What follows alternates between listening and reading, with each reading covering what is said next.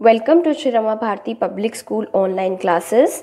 My name is Komal Jaimni and today in subject English we are going to take a vocabulary session named opposite words. I'll be showing you some pictures and you will learn opposite words.